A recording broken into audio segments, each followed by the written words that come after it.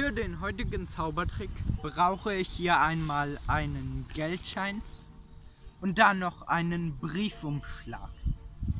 So, der Briefumschlag hat auch ein Fenster. Das heißt, wenn ich den Schein mal hier reinstecke, dann kannst du den Geldschein noch durch das Fenster hier problemlos sehen. So. Und jetzt brauche ich noch zusätzlich zu dem Schein und dem Umschlag hier einmal eine Schere.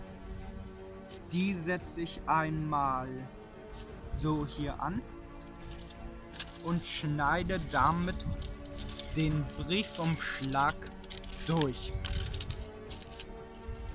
So.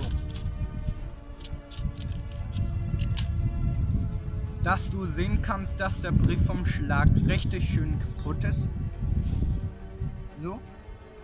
Und wenn wir einmal gucken und den Geldschein wieder rausholen, dann seht ihr, ist er immer noch komplett ganz und der Briefumschlag ist natürlich kaputt.